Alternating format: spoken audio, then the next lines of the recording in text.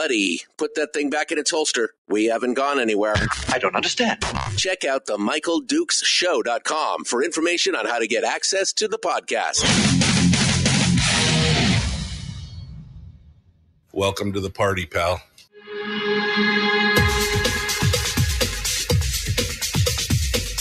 The, the Michael Dukes Show. The greed and the entitlement is astounding to me. What more could you want from a low budget radio program? This is a dumpster fire. That was just BS. It is time to get a new perspective. We know just what you need, and we've got just the cure. Open wide and prepare for a steaming hot cup of freedom. I just don't fathom it. The Michael Dukes Show, streaming live across the world. Uh huh. Live around the world on the internet at michaeldukeshow.com and across the state of Alaska on this your favorite radio station and or FM translator. Hello. Good morning. Welcome to Thursday.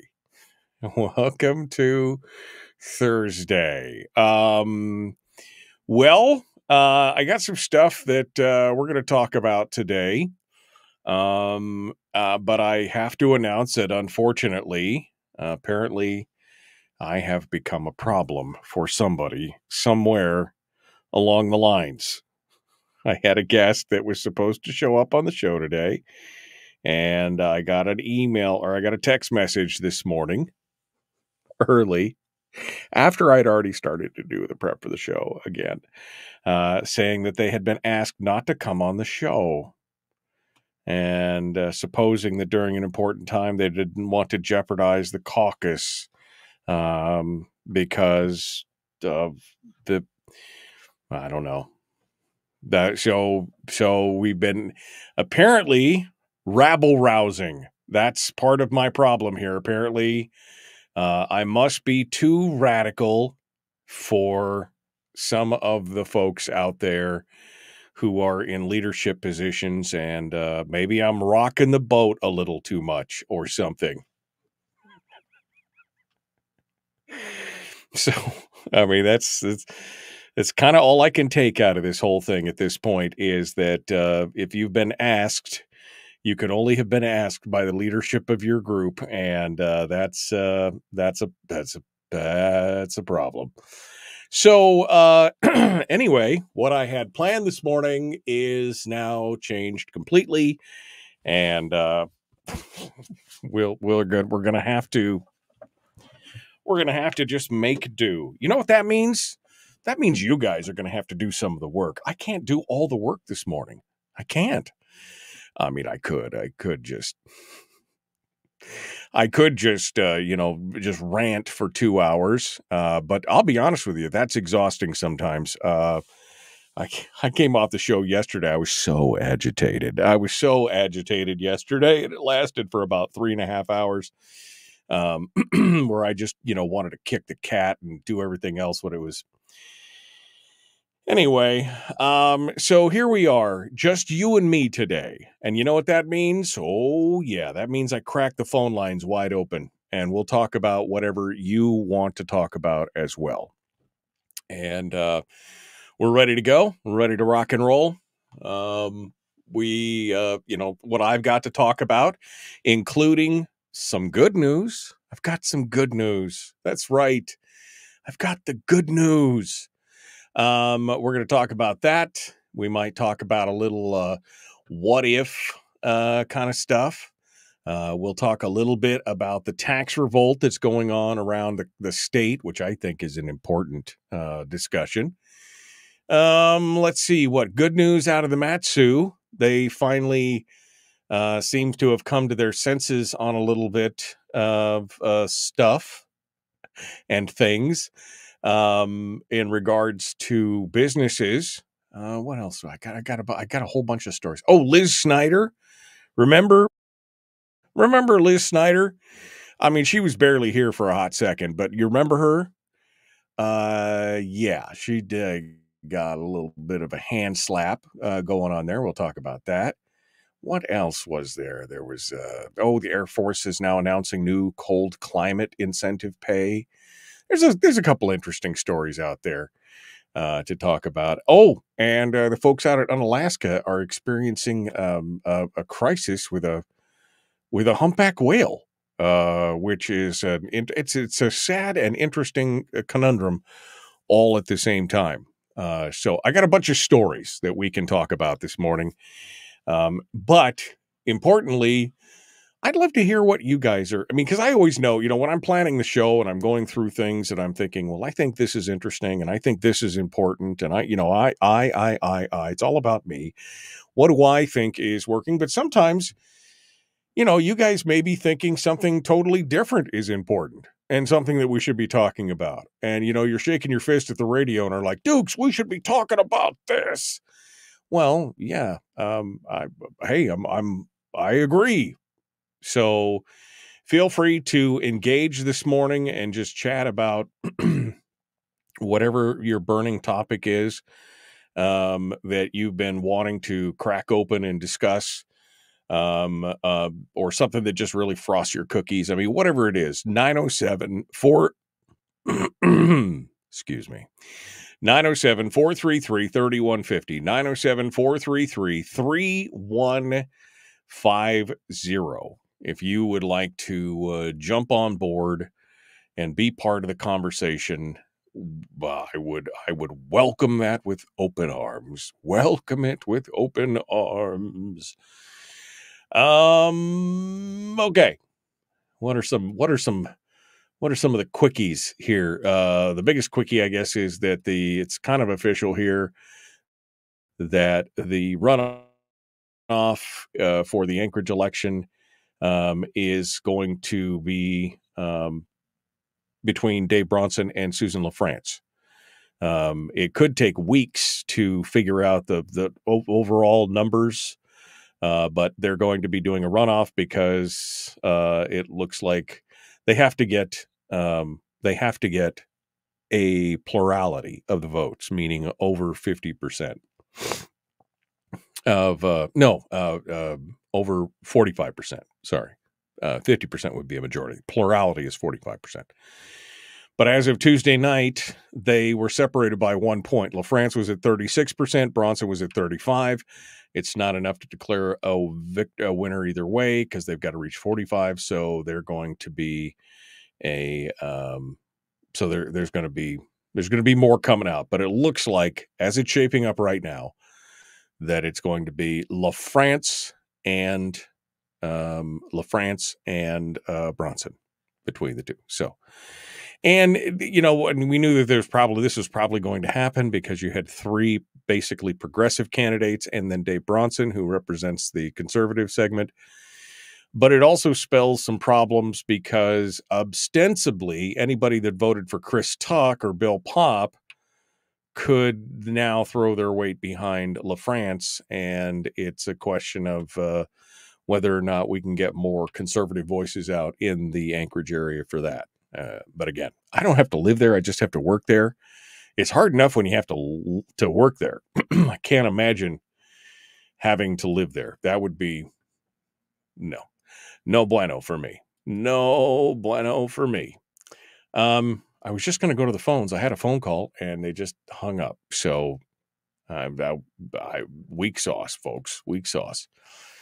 Um, let's talk for a minute about that. Uh, let's talk for a minute of this because this is sad. I've seen this before, and it's something that I will never forget. Um, and uh, I'm glad that somebody at least is uh, working on it.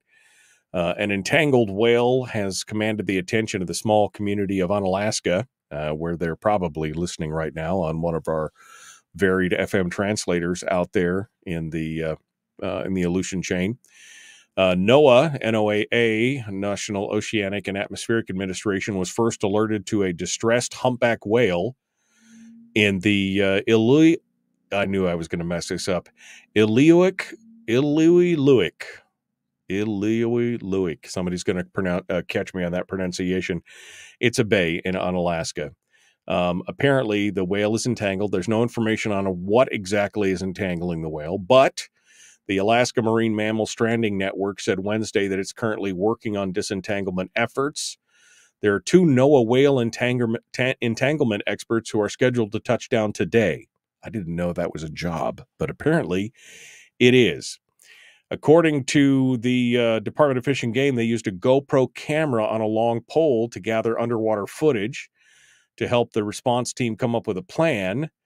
Uh, they said that the entanglement goes through the mouth and then back around the tail, so the whale is essentially hogtied.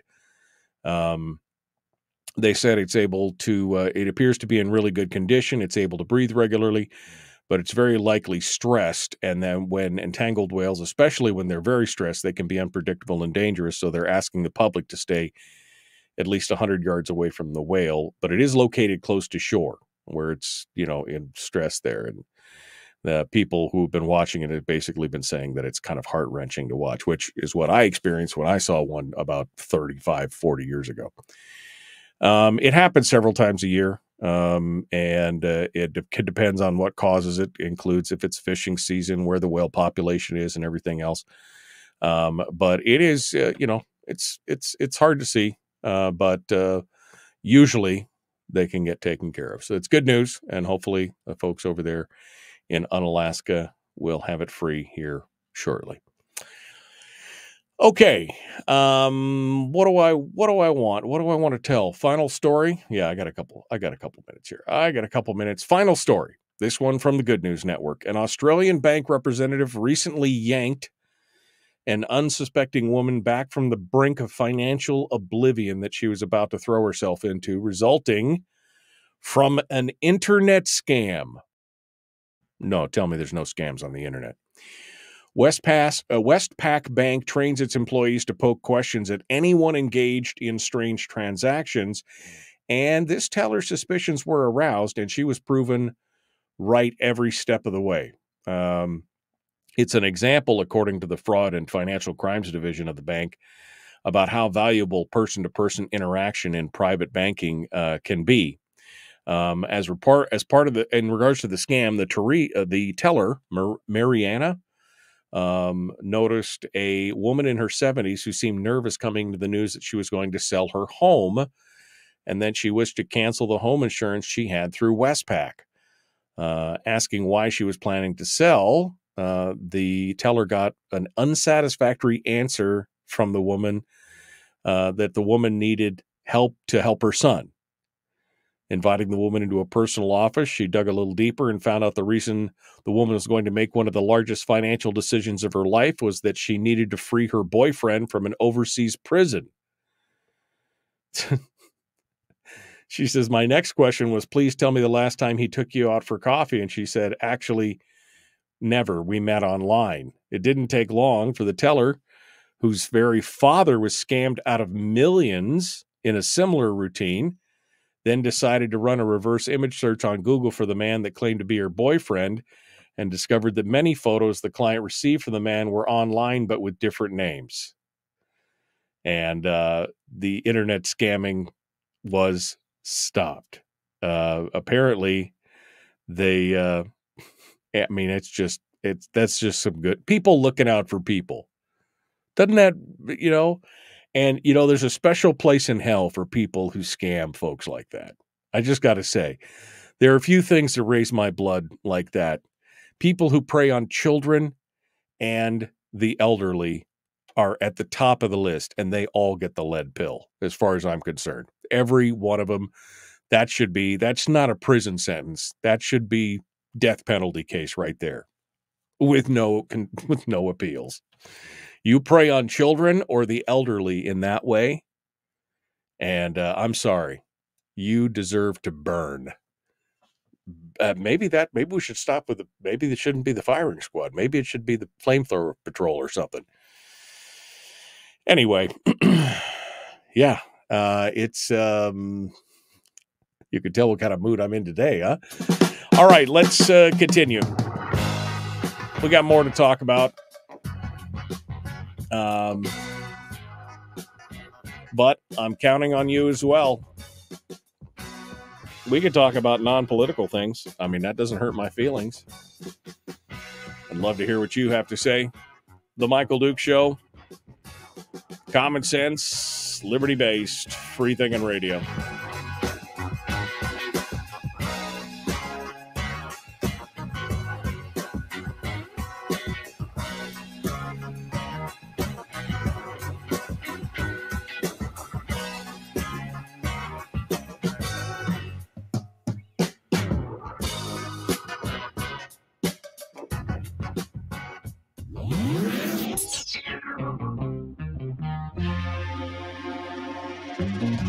Listened to by more staffers in Juneau than any other show because their bosses told them to.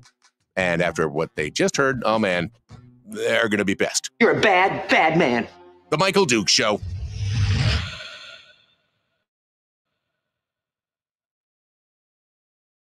All right. um, wow, you wild and radical guy. Yeah, apparently. Somebody apparently doesn't want me rocking the boat. Because they've got a very delicate balance in there. Because they had to make a deal with the with the rural caucus, the Bush caucus. They had to make a deal with them. And some of them in the Bush caucus are in no way, shape, or form conservative. So the Bush caucus got a deal and they got positions of power and leadership. And there's been a lot of ruffled feathers lately. Um, from what I'm seeing, CJ McCormick has been throwing some serious tantrums about some stuff. And um, apparently, we're just, you know, we're we're just we're causing some problems, causing some problems. Uh, and I I have a feeling that their majority is a little shaky right now.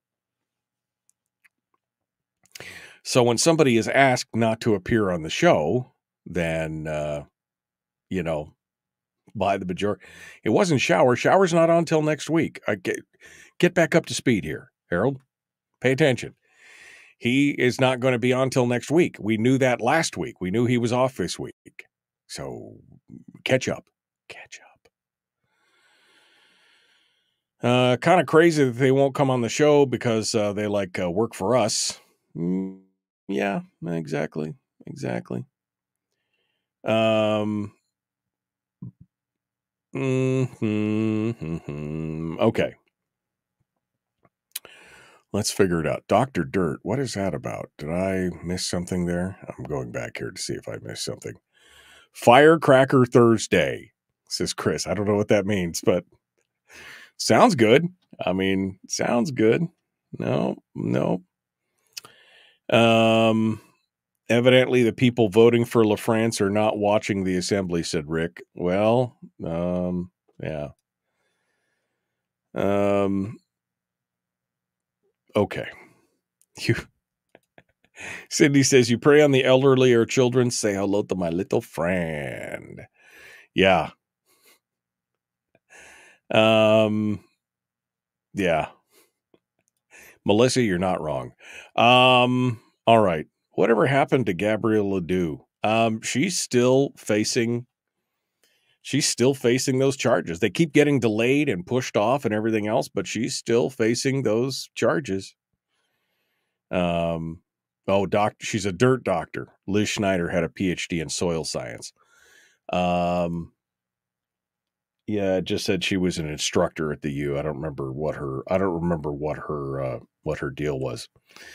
Um, but it's a great stuff, and it just shows how people come up here and flirt around with Alaska, and then when they don't get their way, they leave, which is just so typical in that regard. So typical. Okay. okay. Where was I? I cleared that. We did that. I've still got some other news. I want to talk about that. I'm just, you know, I'm trying to trying to get all my ducks in a row here. Uh what else what else do you guys want to talk about?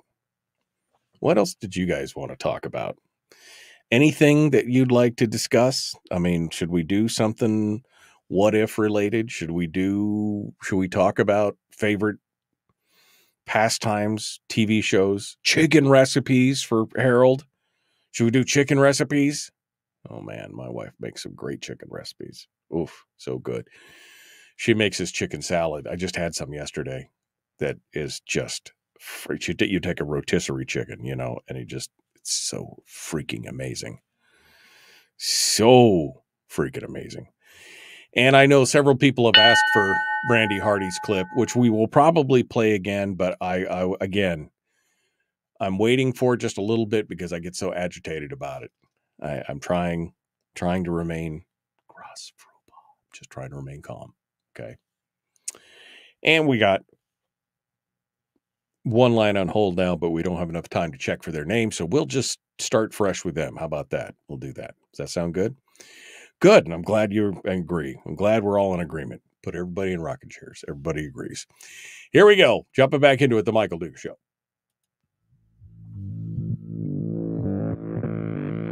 Public enema number one. Oh, wait, sorry. Uh, enemy. Public enemy number one, which uh, makes more sense. On the other hand, he's a little bit of a pain in the uh, Michael Duke show. All right. Well, let's continue. I didn't catch this. Somebody just said uh, in regards to my guest not showing up today, uh, Lisa or and Gary, uh, whichever one it is, Lisa or Gary. Uh, she's. Uh, they said after yesterday's House meeting and legislature legislators disparag- disparaging each other, that might be why they don't want to come on. She spoke out about it. Just watch yesterday's House meeting. Um, I didn't catch yesterday's House meeting because I was busy working, which is the problem with this thing. Uh, anyway, um, you know, because you're working and you can't pay attention all the time, and I'm not going to spend all night watching the entire day's House meeting uh, when I get home, uh, kind of thing. So uh, interesting. We'll see. We'll see. I'll see if I can look back at that. Thank you for the heads up. All right, let's go over to the phones and uh, see what you have to say this morning. Uh, we're just kind of rummaging around, uh, talking about different stuff today, and you can help drive the bus at uh, 433 3150 over here. Good morning. Who's this? Where are you calling from? Yeah, this is Mike from Wasilla. Hello, Mike. What's on your mind? Just a note. Well, I put a note on your board this morning, and I, I it maybe nobody saw it because it was early on, but every time they subsidize something, they subsidized education, the price went up. They subsidized medical, the price went up. Now they want to subsidize child care. That's just going to shove the price of health care up in this state more than what it is now. That I'm a little confused. They they want to help people, but they're raising the prices on the people that, for whatever reason, aren't going to qualify for their little program, and they're just creating a bigger problem. And there's something was said about it being seven and a half million dollars. Uh, you you look at the history of education and pharmaceuticals and medical. That's where it started, and it skyrocketed from there. Um, is anybody thinking about this? Well, I mean, I haven't heard it mentioned anywhere. you, look, you're making a valid point. I mean, this is something that has gone on anytime the government has subsidized anything. It in the in the long run, it has ended up costing more. Why? Well, because it's subsidized. I mean, colleges and college tuition is the perfect example of this. You also mentioned medical and many other things. This has happened time and time and time again um, when you see this kind of stuff. And you're right. What is this going to do to the cost of childcare in the long run now that it's going to be subsidized? Um, at one point, it was just going to be tax credits. Now it's cash payouts, $7.5 million in cash payouts as well. Why is it the government's job to provide childcare to everyone? Um, and again, this goes back to what we were talking about yesterday with Andy Frisellis's comment about being tax slaves. It seems like this is part and parcel of the whole plan that you become so entangled, they become so entangled in every aspect of your life through subsidies or payments, and then you owe them and you've got to pay them and do all that you just become wrapped up in it. I mean, it's it's just it's an inevitability. And people, even people who are ostensibly conservatives, fiscal conservatives, get suckered into it because oh it it helps it's the good we want we don't want people to be hurt and we don't i mean this is life people you can't be all things to all people and that's what uh, i think happens um, in these kind of instances mike Uh, I'm not disagreeing with you. I'm, I'm, I think we're on the same page. And while I got you on the phone, I, I wanted to mention something else.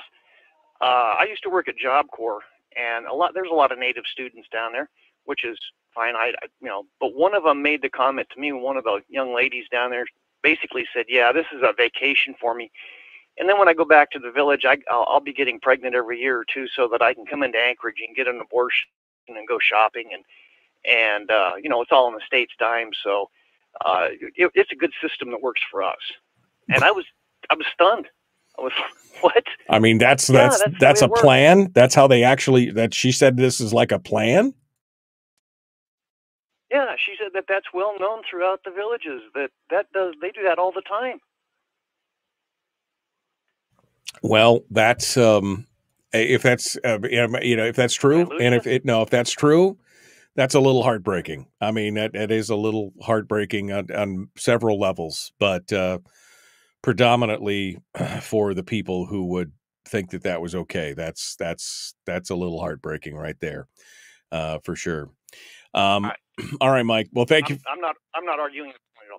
Yeah, I appreciate the call. Thank you uh, so much for calling in and joining us this morning.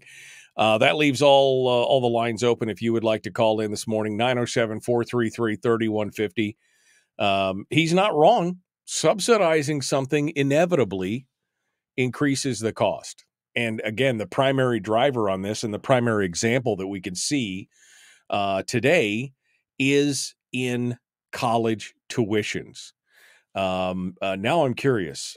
Um, uh, let's see. Uh, uh, the increase in college tuition. Um, average cost of college tuition. The inflationary measure. Uh, let's see. There's a bunch of different uh, images here. Uh, let me see. Um, uh, this chart shows the average college tuition increase since 1980. Um, that only goes up to 2015. But from 1980 to, to 2015, uh, college tuitions almost doubled. Um, average cost uh, in uh, from 2011 to 2020 uh, doubled there. The average cost of tuition and fees uh, going all the way back to, I mean, it just it just doubles it. 1972 to 1917, it went from six thousand to thirty five thousand dollars for the average college tuition. And part of this is, of course, that we've started to subsidize college educations and and college tuitions all the way around. I'm not saying that education's a bad thing. I'm saying that people, when they work for something, when they strive for it, when they struggle for it, it gives them. I mean, that's where I was at in college. I decided I didn't want to continue to attend college after I started. I started, I did one semester, and I said, you know, this is not what I wanted.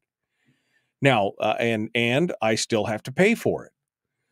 Um, and so there was an incentive. Now, if the government was paying for everything and all that kind of stuff, would I continue to coast on my free ride and do it? Maybe I'd, well, probably not. But I mean, the potential is there. This is the problem when you subsidize anything. And at what point did it become government's responsibility to take care of your children? That's a that's a personal thing right there. That's a personal thing that you should be you, yeah, I mean, yeah.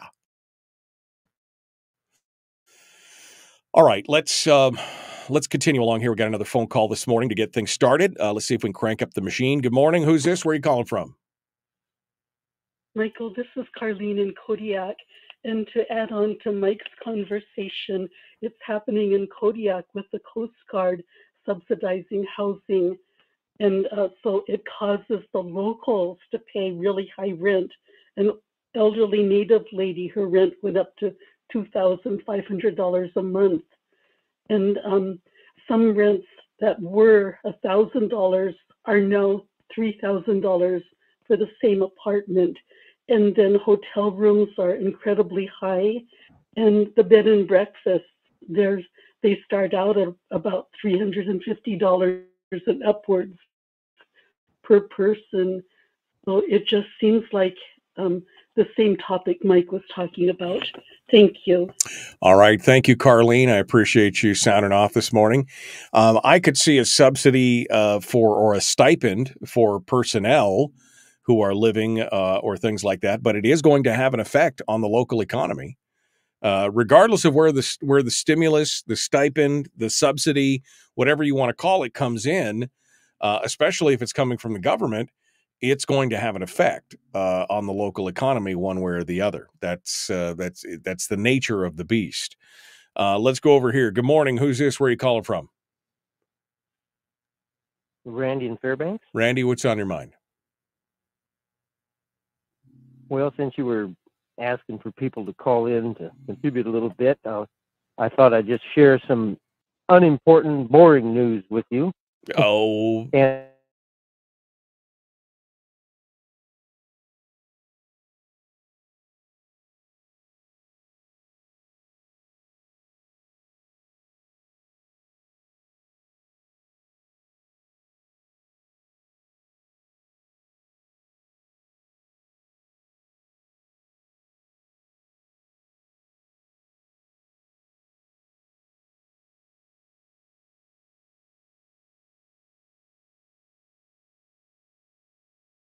then that is simply that I finally got a rest a little bit. I'm getting tired of not getting a receipt from them in the last few years. So on in my PS, I said, PS, last year I sent my uncashed 2022 PFD check, $3,284 back to the state and requested a receipt, but never got one. so I have no idea if you if you ever got it.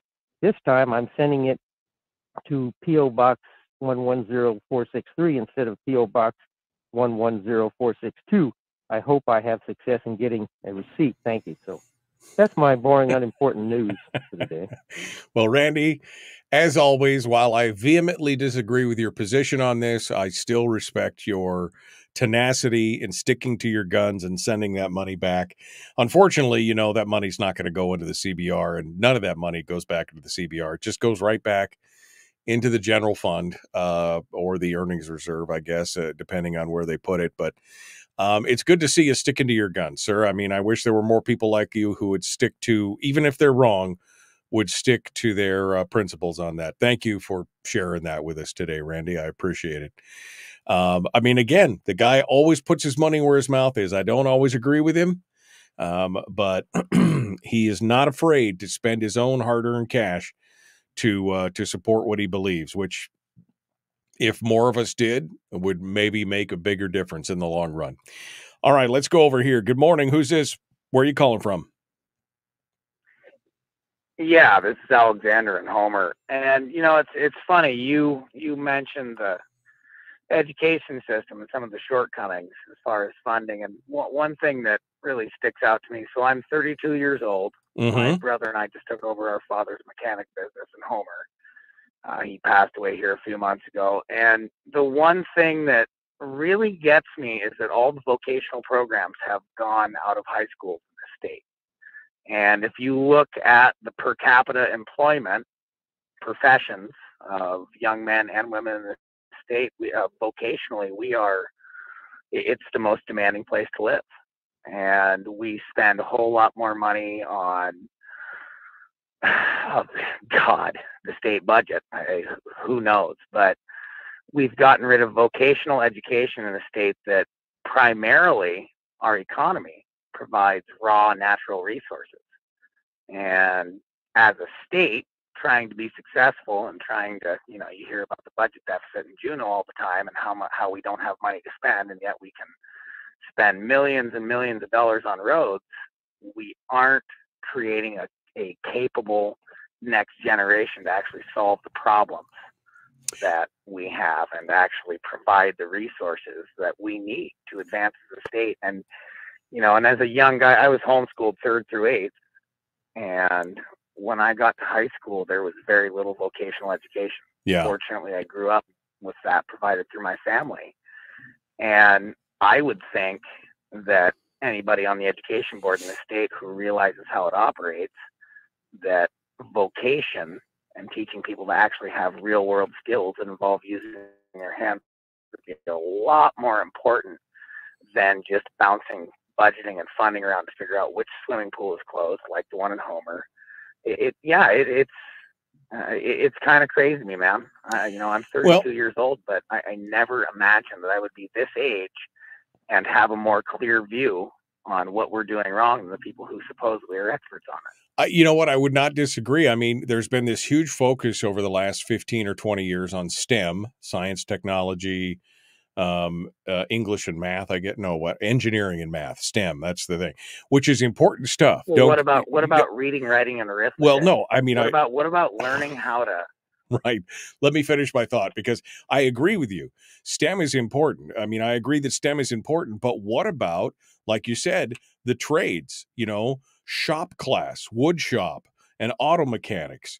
And things like, look at where we're missing. we- Look at where there are big ga- gaping holes in the employment sectors. Uh, you know, they're looking for welders. They're looking for truck drivers. They're looking for uh, certified or or experienced mechanics, auto, diesel, tech mechanics, uh, AP, you know, airframe and power plant stuff. Oh no, no, uh, no, Mike, Mike, Mike. As as a business owner, as a mechanic, I I try to provide my customers with a high quality product. I can't find good help to hire. It isn't even out there anymore. Yeah, If you find a good guy, he's probably already employed by somebody else or has his own thing going on, and that really is the essence of the problem. It doesn't matter what fancy degrees you have.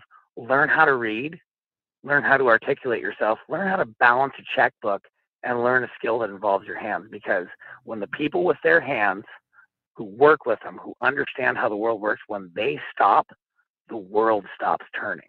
yeah, And, Well, and I think not just as a state, but as a country, we've lost sight of that. yeah. I agree. Not about the people who have fancy degrees. I, I, people I who agree. I mean, that's what Mike. hand on something. Yeah, that's what Mike Rowe's thing has been all about this whole time. Is these dirty jobs, right? What they considered, what what society looked down on as dirty jobs, is what keeps society moving.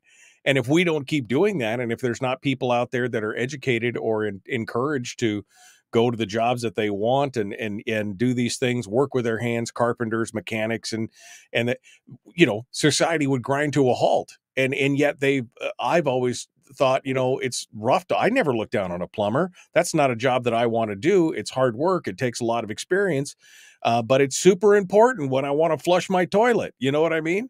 And so you're a hundred, you're a hundred percent right. Well, as as, it- as Ayn Rand put it, when people like that stop yep, participating, stop helping, the motor that turns the world stops. yep, exactly. All right, we're out of time. Thank you for your call, folks. We got to go. Uh, Michael Dukes show continues right after this.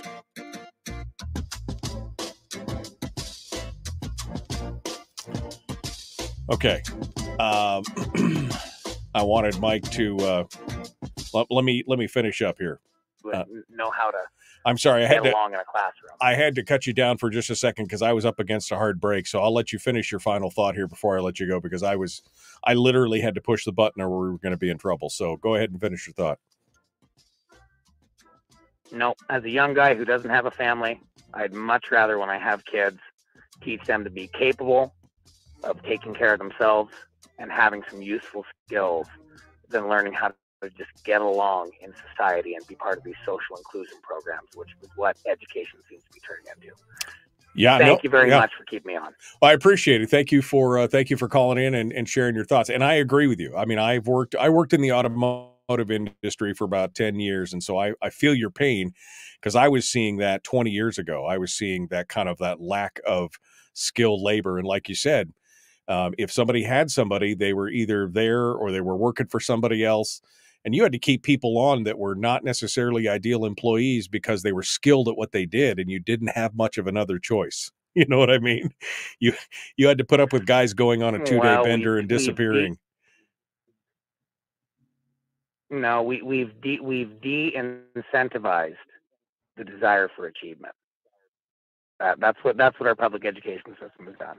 Yeah, I would agree with that. That's part of that whole thing about the um, the the the diminishment of masculinity in the market and some other things. There's there's a lot of stuff wrapped up in this whole thought right here. Um, and you're you're not wrong, my friend. You are oh, not wrong. I, I, I wouldn't I wouldn't fit in in the average social setting. yeah, no, me well, me either. Yeah, that's it. All right. Well, thank you so Hey, much. Thank you very much for your show, Mike. Have a Appreciate good morning. appreciate your call. Uh, let's go over. We've got one more call, and I want to get them set up for the return to radio. They're going to be our first call right out of the gate. Let me go over there right now. Good morning. Who's this? Where are you calling from?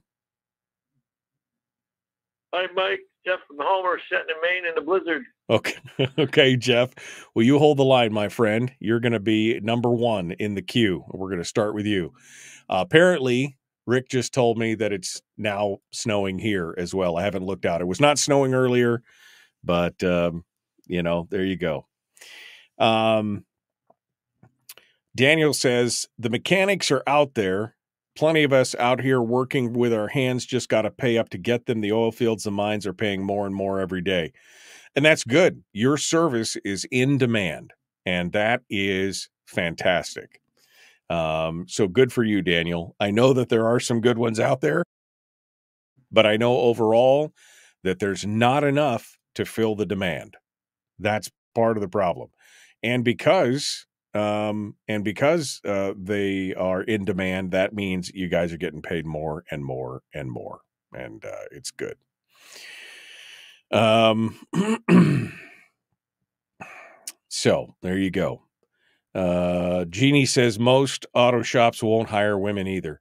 Um, some won't, some will. I've worked at shops. I worked at shops that had hired women that worked uh, and were mechanics. Uh, they were few and far between. Not a lot of women have an interest in that.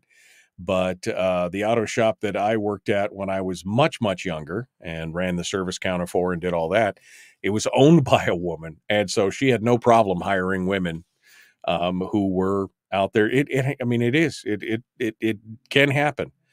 Um, anyway, um, um, what was this? Richard said, I retired out of a telecom career after 30 years in the lower 48 back in 21. Moved here full time, applied at ACS and a couple other places, and they essentially laughed at me. With 30 years of experience installing and repairing high speed internet, phone lines, and other fiber optic internet, they offered a wage that I could make at McDonald's. Now I look after old people for one third of what I was making, which sucks, but a sad reality because some of these employers are douchey. I mean, there's a there's that.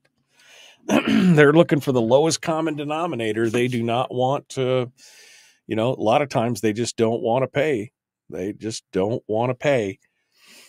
Um, Melissa says, I have a 21 year old son who's built houses with a local construction company and has rebuilt his truck. He knows how to diagnose mechanical objects and he's smart. He applied at 20 plus jobs and one called back. He's now weighing and shipping core samples for Pogo, bored out of his mind um, again, maybe now is the time to start thinking about doing your own thing. Little entrepreneurship. If nobody else will hire you, maybe you, and there's a demand for something that you do, maybe you go out and do that. Um,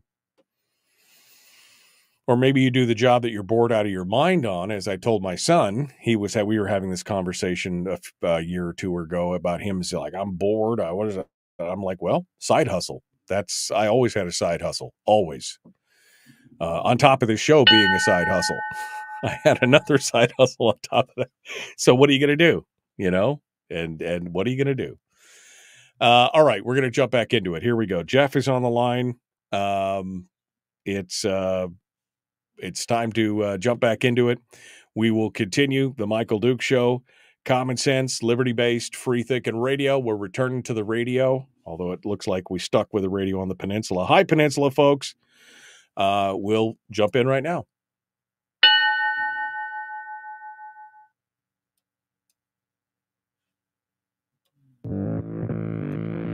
Public enema number one. Oh, wait, sorry. Uh, enemy. Public enemy number one, which uh, makes more sense. On the other hand, he's a little bit of a pain in the uh, Michael Dukes show. And welcome back. we re- we cut it a little too short on the last time. It said I had four seconds, but apparently four seconds was not enough. So we stuck with the the peninsula stuck with us on the commercial break. I hope you guys got a chance to see the behind the scenes of what it's like over here. We just chat and talk and do things and everything else. Folks in Fairbanks, you didn't you didn't have to worry about that. You went you you got your commercials. Uh anyway, welcome back. Uh we're going to continue here. We got a phone line on hold. Jeff from Homer, who's actually in Maine. I know that's confusing. Uh, but he's down there in Maine getting things squared away so he can return to Homer. He says he's in a blizzard and he had thoughts today. Jeff, what's on your mind? Well, I can tell you, you you're, you're hitting the right nerves there. I listen to you talk. Um, I grew up learning everything I could. Hated high school and all the school that I took because they weren't teaching me enough. You know, I try to learn everything I can because you need skills, skills, skills, and that's what I taught my kids. I have three kids here, grandkids. They're all doing great, but they have skills. They were working right out of high school, right out of right out of the vocational school, one of them, and another one out of college. But they have skills, many skills, and they have the skills I taught them. And I think it's up to the parents to learn skills to teach their kids, which I did. And I told my kids, if you were in a bicycle, I'll never take it away from you. I don't care what you do. If you learn a, a motorbike, you know, whatever. And everybody, you're making spoiled, rotten, brat kids out of them. No, they were too busy working for the next thing, and they grew up fast. Doesn't hurt them a bit. Matter of fact, they can learn more before they get out of high school than they can after high school sometimes because, you know, when they get that 18, 16 to 18, they, they know everything anyways. But, um, you know, but I got through that with them, you know, and pretty much these kids around here, I used to get from people, oh, don't you believe in child labor laws, Jeff? And I, mean, I believe ought to be working. And now those same people tell me those are the best kids around. Those kids work. They're in their 30s now. Okay. I'm 65. Right. And it didn't hurt them a bit. But I didn't tell them they had to do anything that I did. They did their own things. So they have other skills that I don't even have. But they learned how to get skills and how to work through me. I was the one that taught them that. They looked up to me, and that's what I had to do. And I tell parents today, every one of them, get those kids working. You know, right in Homer, one of my guys there that I was doing his bed and breakfast for him, he had two daughters, and he didn't know what to do with them. And I said, well, put them cleaning the place. Why are you hiring somebody? So they did. And they actually saved enough money to take him to Hawaii, man. So, you know, this is how it goes. And he thanked me. He said, wow. And I said, it is your duty to take care of those kids and teach your kids. Right, right. How to work, Give them a work ethic. That's what you do.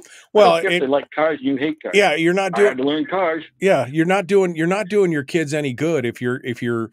You know, a lot of parents like want to shelter the kids from everything. You know, we want to protect our kid. We and you've sheltered them from things like hard work. I mean, I still remember when my daughter was uh work she went to work for a, a, little cafe in fairbanks our friends own the cafe she got a job there and she was my daughter's a hard work I, have never been afraid of hard work if i taught my kids anything it's the it's it's uh, i have a pretty i have a pretty decent work ethic and they knew that and they they followed that that example pretty hard and she said she made it, it with short order she was one of the managers of this cafe and she said she had a girl that came in that was a year younger than she was and she came to me that night and she's like, Dad, I had to teach this girl how to use a broom. She didn't know how to sweep. She didn't know how to use to sweep and use a mop for cleanup at the end of the day. I mean, who doesn't teach their 18 year old? I mean, who doesn't know how to run? It happens. They're just not teaching them to do anything uh, you know, outside of their oh, they they're in school and they're in all their sports and that's all great. Great, you've taught them some things there, but have you taught them skills to live life outside of that? And you're 100% right, Jeff. That's the ethic. Mm-hmm. That's the thing that they need to that they need to uh, learn. That's exactly right. And you know, I, I had great teachers. I did have some great teachers because they knew they all they all told me at, uh, 10, 12 years old, I was born 50 years old. I was doing stuff that, you know, flying airplanes at 13, you know, and, and uh, um, you know, doing all this stuff. But not everybody has those abilities, but you have some ability. You have some likes. There's something in there that you can do in the society. And, and you're, you're hitting the right nerve because we need the workers and we need entrepreneurial workers that can go out on their own, you know, by their 20s and 30s or whenever they can. Because now you could you can make your own wage. You can set your own wage. And once you get into that, I want all these young people that are listening and people that are listening. Now, economy goes bad, like Bidenomics, let's say, and it costs uh, oh fifty dollars a bag. You know, the hundreds, the new twenty. You can bring your wage up because you are the best in town. Strive for that. Yeah. Learn everything you can. What did I do through COVID? Stood on the bed, the the deck of the Time Bandit and worked with Neal Hillstrand, all right, and said, no, I'm not locking down. I'm not going to do that. We love our germs, all right. We stood up, And that's what makes America great, right there. The people that we raise as we get Well- older, see them in society, standing up for their rights is something we need desperately Yeah. in this country. And I've been teaching it everywhere I go. Yeah. Well, and I would agree with you. They look at you like, look what he did. Yeah, no, I would agree with you, Jeff. And, you know, the problem is, of course, we've got governmental intervention. I mentioned earlier to one of the commenters who said her kid is very, uh, very skilled in a variety of things, but is having a hard time getting a job that pays, uh, you know, pays well or does. And I said, well, now's the time to start looking for, you know, maybe creating a new business or whatever. But then Frank made the, makes the comment in the chat room that I believe is also part of the problem. He says, What? Start a new business? Then you'll find out how at every level of government they'll have their hand out wanting a piece of the business. And he's not wrong. That's the thing. Entrepreneurship, which is what created this country, is being stifled by government. And child labor laws, Mike mentions, stop many youth from getting a job. I mean, I understand you didn't want kids working in a factory at 12 years old, but stopping them from just going out and getting a job for a few hours a week um, you know, there's there's a lot of problems in there, and and again, that's governmental intervention trying to do good, and instead screwing things up. Down to the last minute here, Jeff. Final thoughts. Let me tell you how I solved that with Paul LePage, what he was saying. We had some kids that, same thing, they couldn't even work at their own mother's store because they couldn't get a work permit because it went through the superintendents here in, in Maine. And you know what? We busted that because I told them, I went in and I testified in front of all of them. I said, I'll tell you what, if you don't take this 12, 14 year old kid and put him to work now, the drug dealers will in another year or two. Okay. As soon as he's driving a car or he's use, useful, they will put him to work. What do you want to do? By Yeah. God, they put them to work. Yeah, Right? So what you need to do is everybody needs to get together and stand up to the politicians because there's more of you than there are of them, and you can stop a lot of that stuff. Yeah. But you have to go through the channels and see what they're doing and fight it. But if you just let them do it and you complain about it, you're not solving the problem. You want to be part of the problem, or you want to be part of the solution. Thank you. you thank you, Jeff. I really appreciate you calling in. I can't uh, wait for you to get back to the uh, to your old hometown of Homer. Thank you for calling in this morning. All right, that brings us to the end of hour one. We got more stuff to talk about next hour. Hour two, dead ahead. The Michael Dukes Show, Common Sense Radio. We'll see you then.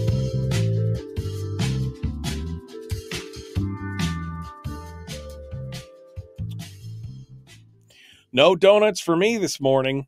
I missed the commercial break in the last. I, I- they said I had five seconds. I was like desperately trying to get him to stop talking so that I could just mash the button. Um, but apparently, it was. It didn't. Apparently, that was no. It didn't work. Oh well. Okay. Um, grow up on a farm and talk to that kid about work hours. I know. I know. I mean, but you know, if you're officially employing kids, it's a whole different thing. They're only allowed to work. I mean, I can't remember that. I've got the placard up at the station that says, you know, how many hours teenagers are allowed to work and all that. You know, we've anyway. It's just it's just crazy.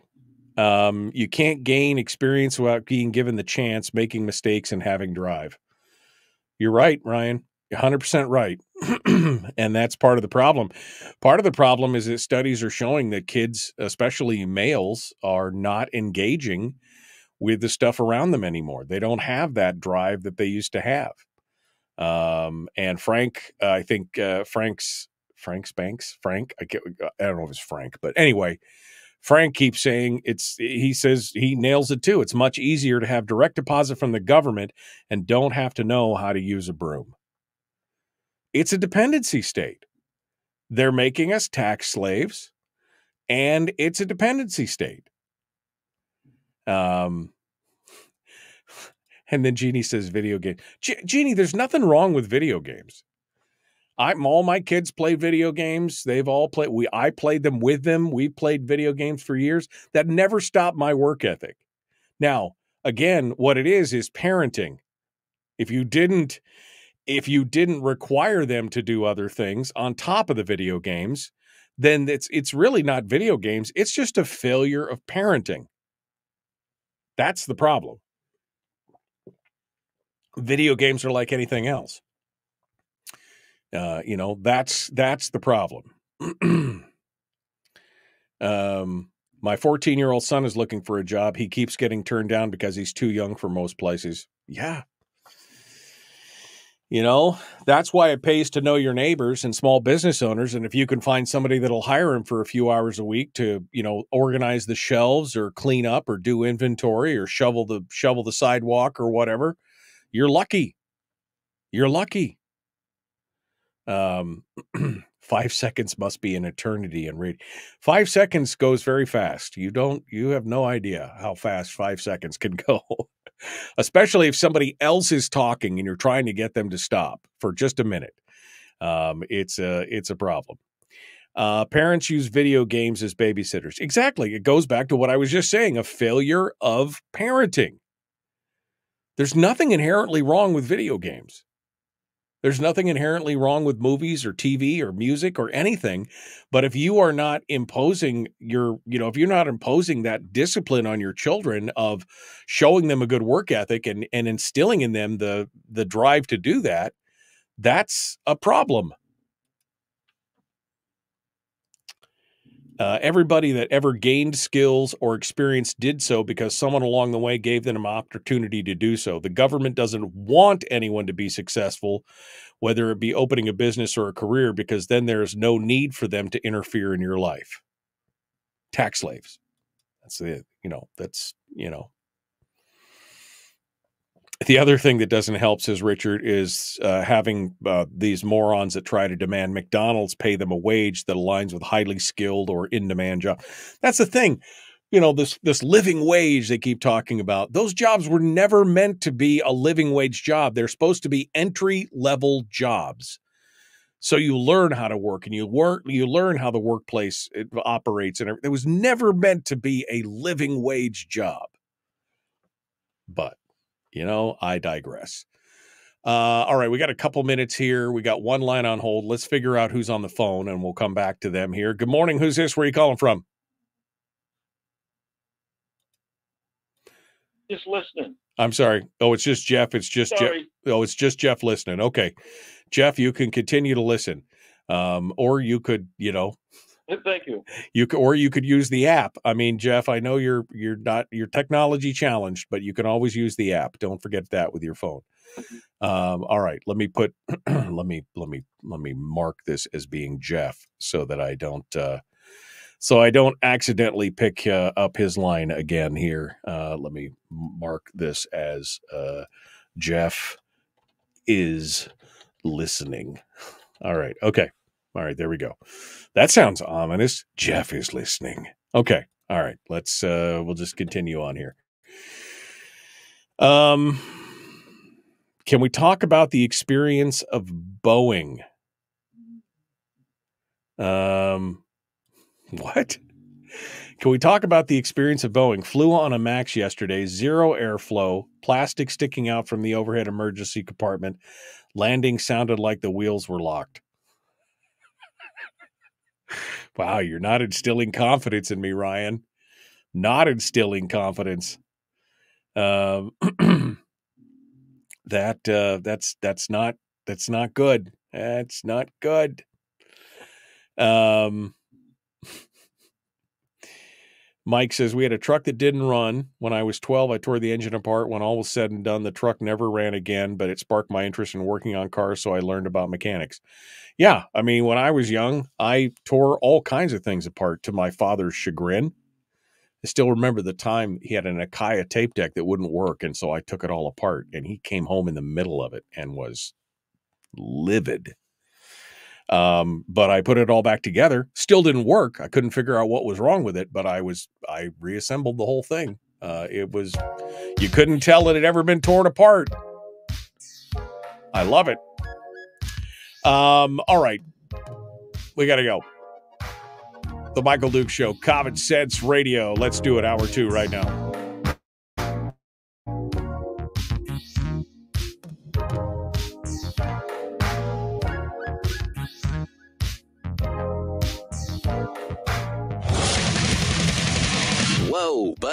Put that thing back in its holster. We haven't gone anywhere. I don't understand. Check out the Michael Dukes MichaelDukesShow.com for information on how to get access to the podcast. Welcome to the party, pal.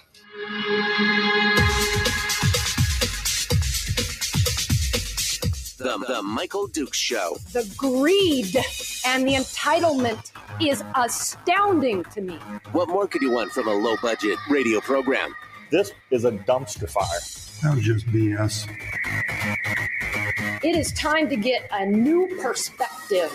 We know just what you need, and we've got just the cure. Open wide and prepare for a steaming hot cup of freedom. I just don't fathom it. The Michael Dukes Show.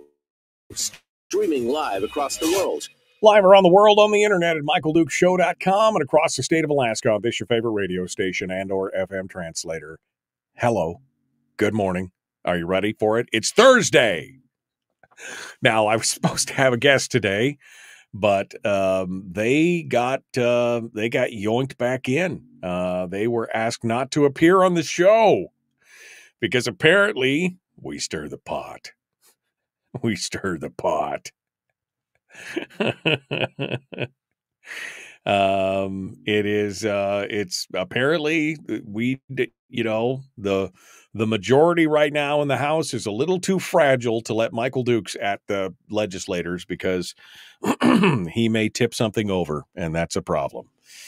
Uh so anyway so that means it's just you and me today and we've been talking about some interesting things. A topic came up out of the blue which was dealing more with uh, you know not teaching kids the work the ethic of work and uh, you know giving them basic life skills and some other things um, and uh, it, uh, it it brought up some interesting points um, and I think that it is uh, I think it's a great topic to have. Now that of course it's a we can't paint with too broad a brush. There are some kids out there who have an excellent work ethic and understand how to do basic things like you know take care of themselves and balance their checkbook and there are there are exceptions to every rule for sure but it is amazing how many kids out there don't have the the the drive the wherewithal or just even the basic knowledge of how to do some things and how you know working in the trades working in you know votech stuff is is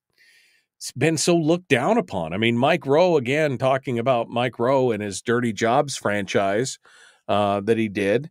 Uh, it was a way to try and show people that those dirty jobs, while they were, yes, in some cases they were dirty, but they were tough, but they were the jobs that kept the lights on, that kept things moving, that, you know, help people understand how things work.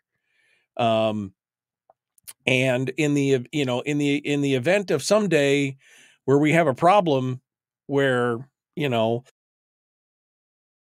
society is not working quite the way that it should or there's some kind of major natural disaster or a carrington event or something else like that how many people would know even some of the most basic issues of how to stay how to stay alive um, in this day and age? It's it's astonishing to me. Um, I was actually reading some data um, about um, it was some it was some predictive data on estimates for natural disasters um uh, uh you know and or terrorist event or man-made you know kind of thing. And one of them was this blue ribbon panel that was commissioned uh by congress uh post 9-11 um, there was a, a, congressional panel that was put together in 2001, 2002, and they did a they did an analysis, a threat analysis against the United States, and and they were saying that one of the most devastating things that could happen in the United States uh, or against the United States was the threat of electromagnetic pulse detonation, uh, which would not damage the you know it's like it's a detonation of a nuclear weapon in the high uh, atmosphere, essentially, and that that would create. They were concerned about it. This blue ribbon panel in that was put together by Congress said this is a dangerous thing, and we should talk about this because this is a problem. Uh, but what was really interesting about it um, is because not only could this be caused by bad actors, You know, uh, at the time, they were very worried. Post 9 11, they were very worried about um, Iraq and Iran, and they were worried about Scud missiles uh, that could be shipped off the coast of the U.S. and loaded with a nuclear weapon and detonated a couple hundred miles above the continent. And uh, it, they were all worried about that. But then they make this little footnote mention about these things could also happen with what they call a CME, coronal mass ejection, a Carrington event, uh, which is a it happens every it's a fluke thing that happens every you know couple hundred years or so where there's a mass coronal ejection. It's a solar flare essentially a massive solar flare from the sun that encompasses the magnetosphere of the of the earth. And that said these things could happen if that went on as well. So it could be natural disaster on top of i mean i was just like oh. Anyway they were doing estimates as far as death toll estimates of what what this would cause the cascade effect of what would happen here. And they it's disturbing folks. It's some disturbing stuff. I will tell you that for nothing. Something like a 75% casualty rate in the country mostly because people who live in major metropolitan areas and cities have no idea how to live without all the amenities of society. And how they just would have no idea how i mean most people think that food comes from the store in little plastic pink trays. They think that the meat that's where the meat comes from. They have no idea about hunting fishing gathering. Now here in alaska we're obviously way ahead of that power curve. Most of us know how to do that uh, we know you know the basics of staying warm and doing what we need to do and if we had to we you know we, we could do most of that. But it just reminds me when we start talking about these kids not understanding trades or working with their hands or troubleshooting, problem solving, all this kind of stuff, how we are really doing a disservice to all of these kids in the event that something uh, disastrous happens in the future. You know, they looked, it's the government's job to take care of us. It's not our job to take care of us. If something goes wrong, where's the government? Where's FEMA? Where's the things to help us? You know, where, what's what's going on? You know, there's no, we've got to grab ourselves by our bootstraps and make sure we pick ourselves up and take care of ourselves and take care of our community and our neighbors and and do all the things that we can do to pull together. No, it's where's the government and why aren't they here to help us? Well, probably because they're struggling with the 9 million people in some major city and they could care less about the 600,000 people in Alaska. Right? I mean, let's face it. You know, Alaska has always been an afterthought.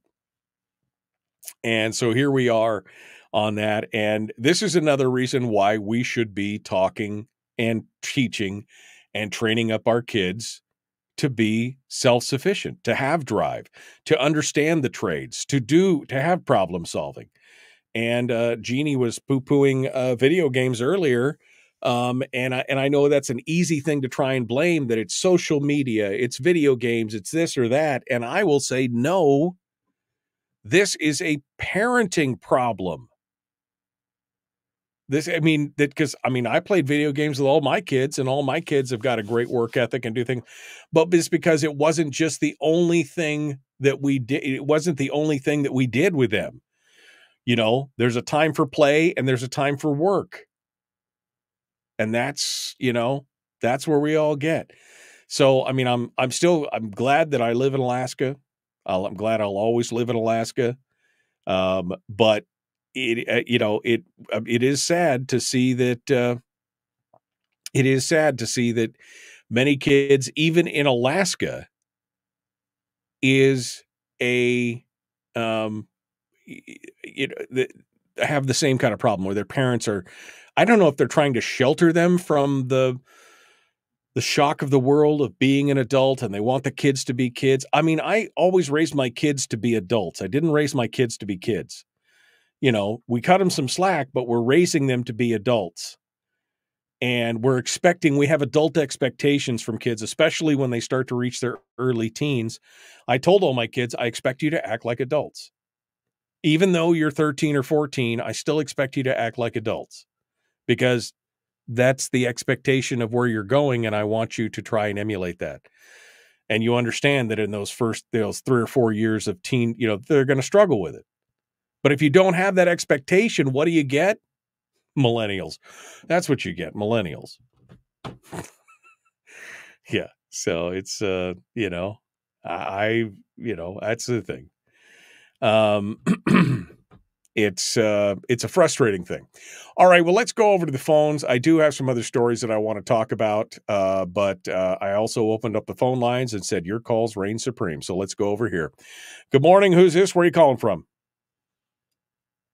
Um, Michael, this is Carlene again. Good morning, I'm Carlene. reading a book called Disaster Preparedness for EMP Attacks and Solar Storms, written by a man that worked for NASA, Arthur T. Bradley. But he even talks about what to do for your car.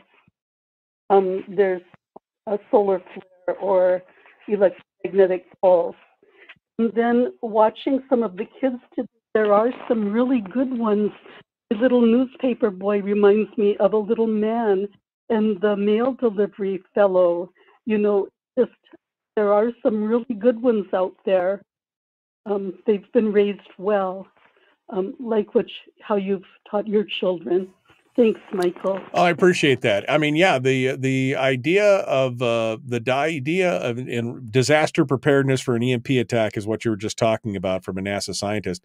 I, I should probably get that book. That sounds like an interesting read, but it's something that I have been concerned about, not from a terrorist standpoint, but from the fact that it is a natural disaster that could just occur.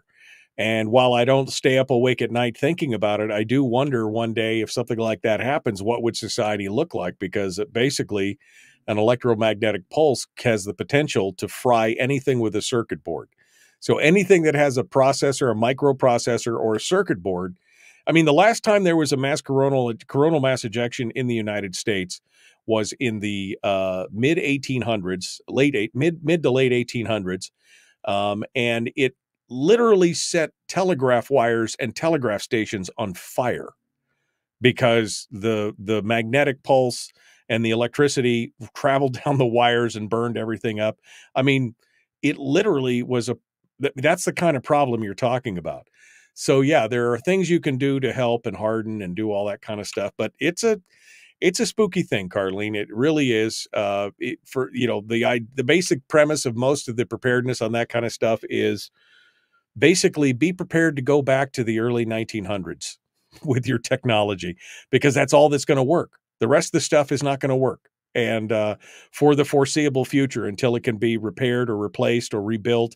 And that means you have to build the tools and rebuild the tools that built the tools et cetera, et cetera, et cetera. And it's a it's a long drawn out process. Uh, so thank you, Carlene. I appreciate it.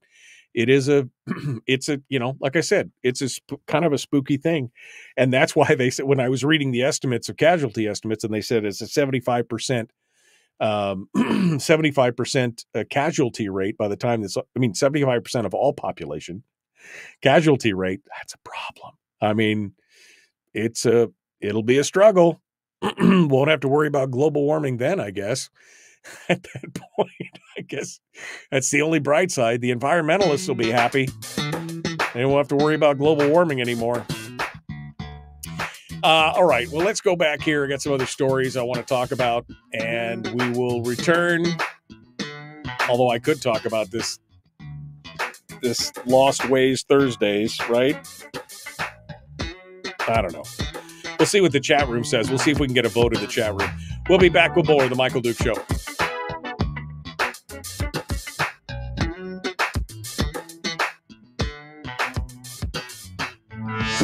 Broadcasting live through a series of tubes. allowing all of these uh, entities to provide streaming stuff going on on the, on the internet. Well, it's kind of hard to explain. Sorry.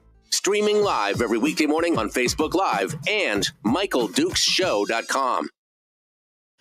Okay. went to break. We're all good. I hope we went to break. Uh, sourness. Uh, why do you think the most popular game amongst kids is Minecraft? They yearn for the mines. All jokes aside, kids should be allowed to work at least a few hours a week. Bussers, dishwashers, cart pushers, all those jobs the adults think are beneath them. It would solve the problems with labor. I agree. The anxious generation. Yeah, Joel, the anxiety in this generation is astounding. It's absolutely astounding. And part of it, I think, is because they have been so sheltered from so many things, including a work ethic and the ability to problem solve. It's just, yeah, it's crazy. It's crazy. Um, uh, Jeannie, uh, Jeannie says Carlene has a point. Exactly why I keep a couple of old square bodies around, EMP proof. She's talking about old cars, old square bodies, old cars. Yeah, I mean it's uh, because that's the that's the stuff that would still run because it doesn't have circuit boards in it. It's not electro, you know, it's not electro uh, uh, uh electronically driven uh, per se. It's just electromechanical. Um, yeah, it's uh, it's it's just it'd be interesting, you know. Um, Harold says modern devices are shielded from the aliens. Well, they may be shielded from the aliens, but they're not shielded from a CME. So, I mean, you know, good luck. This damn thing in your pocket would probably, you know, this phone here would probably explode. Uh, the amount of energy that's released by something like that. I mean, that you know, and this is again, this was not just me saying it. This was a blue ribbon congressional panel that was put together and said this. And I'm reading this and I'm like, oh, oh, oh, this is not ow. definitely not a uh it's definitely not an uplifting read. Let's just put it that way. And you read through that thing, you're like, oh, that's a little gloom and doom. That's a little scary. That's a little depressing. Yeah. Oh man. Um really at a young age parents should be introducing their children to hands-on things basic life skills rather than what we have now where they spend send the kids off to college spend 300000 and then wonder why johnny can't find a job with his transgender interpretive dance professor degree um, yeah, I, I mean, I think most of this again goes back to the parts of the parents. Um, when my grandkids came to Seldovia for the summer, they were young, but they started off walking dogs and doing some uh, ironing for people. Yeah, I mean, exactly. Uh,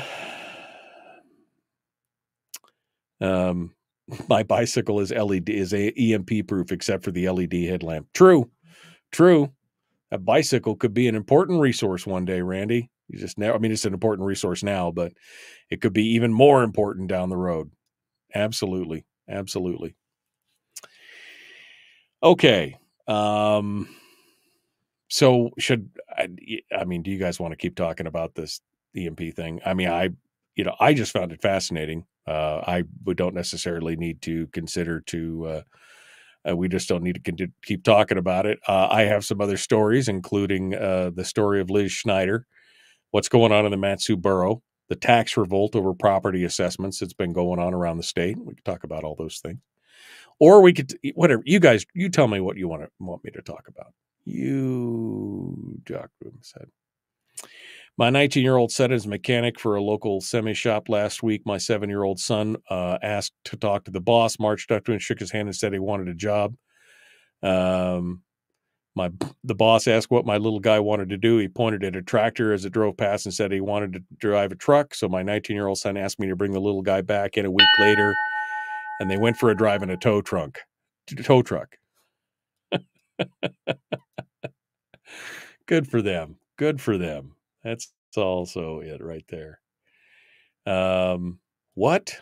Says James, no rep Jamie Allard told not to come on the show by who? Majority cancel culture? I. Couldn't say. I can only speculate. Not, I can only speculate. Um, all right, we got to go. Let's do it. The Michael Dukes Show. The Michael Dukes Show. Not your daddy. Wait, sorry, not your daddy? Ooh, not your daddy's talk radio. Whew, I was scared for a second. Thought we were going down. Here's Michael Dukes and the show.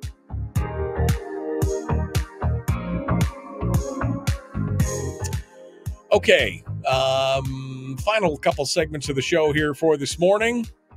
We're all alone, just you and me. Phone lines are open at 433 3150 if you'd like to call in. 433 3150. Feel free to give us a ring this morning and, um, um, you, you know, there you go. Um, we, we got off on a tangent this morning. We gotta fight. It's my fault. It's all my fault. I apologize. This is what I get in my downtime for reading stuff that is on my mind, and I brought it up, and uh, it's a it's a problem. Um, all right, let's uh, let's go over to a couple stories that uh, I found a little bit interesting today. I think the Mat-Su is actually moving in the right direction with less government oversight and invasiveness. The Mat-Su Borough uh, is now decided that they will no longer be requiring a business license in the Mat-Su Borough. They will no longer be required to purchase and display the borough license. It was repealed by the Borough Assembly in a unanimous vote last night. Um, and they're expecting the mayor, Edna DeVries, to uh, uh, to sign it this week. It was first implemented back in 1995, and it carried a hundred dollar fee, and a renewal uh, was required every two years. Um, businesses that paid for the license prior to the repeal vote will not receive a refund. Suckers. Um, the change does not affect local, like city or state business licenses. Businesses operating in Alaska have to hold a state issued license, which carries a $50 annual fee. And Palmer and Wasilla and Houston all carry a city issue license, which costs 25 bucks a year. So it's always government with its hand out, asking for one more dollar, right? There are more than 10,000 people who currently hold borough business licenses. And uh, I just got to say, this is a good move because what was it giving you? What was why they started it in 1995 and they said, "Oh, will be used for economic development and all this other kind of and it never did. According to the memo accompanying the proposal, um, data gathered from those registrations was not used for any economic development tasks for at least 20 years. Income from the license fees function only as a business tax. They expect to lose about half a million dollars in annual income. That's how much the borough is making simply by saying you reside in the borough and you owe us and you have a business, so you owe us a tax, a business license fee. Um, now it's funny. Uh, my corporation uh, is actually was incorporated incorporated in Fairbanks, and it, it that's where it resides, right? But I started having some of my mail forwarded here because it was easier to get my mail here. And I got a letter in the mail one day from the borough that said, "Hey, you're doing business in the you're doing business here. You need to buy a borough business license." And I'm like, "No, I'm not. I'm doing business in Fairbanks." And so is it, so I just I ignored it the whole time. I'm like, "I'm not paying your fee. That's a stupid, you know." come and take it. Uh, is basically what I said. And look, I won in the end. I feel so good about it. My business was in Fairbanks. Just because I have the mail delivered here does not mean that my business. Oh man. So anyway, congratulations to Mayor DeVries and Borough Assembly Member Dee McKee uh, and Rob Yundt, who proposed this and sponsored it and got it removed. I mean, everything that we can claw back from government, I am all about that. Um, so thank you. Thank you for that. Uh, for all the people who live in the borough, all the businesses who are here in the borough. This is some good news. It's some good news. Uh, anyway, uh, it's a, yes, you're right. It was incorporated in Alaska, but for anyway, always got to be the contrarian, you know. Always got to be a contrarian. Uh, what else we got here? Uh, that was a little piece of the good news. This is here's this is indicative of what's going on here in Alaska. Don't you love it when people come up here and they want to play politics, and if they don't get their way, they leave. And in some cases, they get spanked on the way out. This is the story of former Representative Liz Snyder. I just, I just, I've got to laugh at this because it's this isn't we see this so many times. People come up from the lower 48 bring their big city big deal progressive ideas up here and then they can't get you know they can't get the traction or they can't get it done or they get bored with it and then they decide to leave again.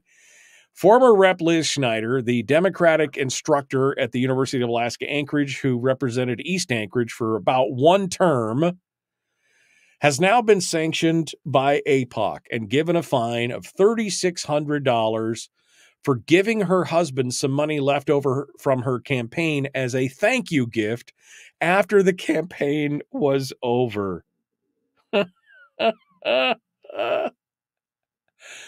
okay. I mean that that blatantly illegal. I mean, you know, but okay, okay, okay.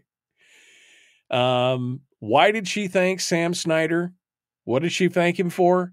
For volunteering. If you're getting paid, you're not a volunteer. Just I just want to point that out. The commission ruled that Snyder violated campaign laws by one, giving a prohibited thank you gift of campaign funds to her spouse who volunteered for the campaign, two, failing to report the work that her spouse did as a debt to the campaign, and three, not timely dispersing campaign funds after the campaign and but they only give you know she gave her husband a personal she gave her spouse $2000 as a thank you gift. Anyway um the commission dismissed the allegation that snyder failed to report campaign expenditures when incurred for her spouse's work um and anyway for the whole thing. So a little bit of history this is what happened. During her campaign she enlisted her husband to be her campaign treasurer.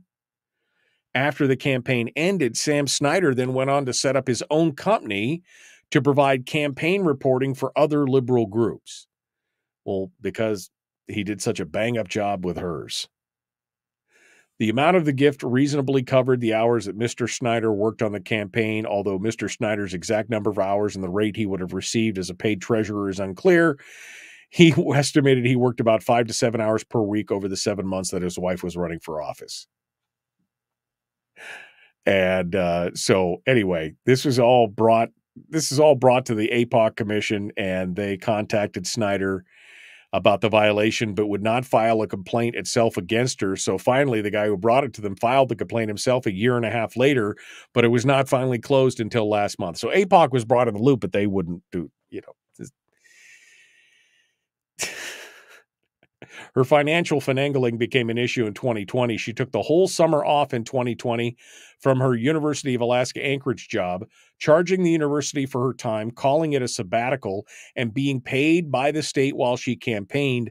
Later, she kept her university job even while serving as a legislature, which is against state statutes that prohibit state employees from simultaneously serving as legislators. And then, after serving for a year and a half, she lost interest and they quickly and quietly sold their home in Anchorage and moved back to Florida, where she had come from originally. it's like they come up to Alaska. They didn't get to do the wild, wild west thing that they wanted to bring all the progressive values. And so what did they do? They moved back to Florida. Sounds good to me. Sounds good to me. Oh, by the way, her husband is now listed as teaching journalism at the University of Florida. of course, of course he is.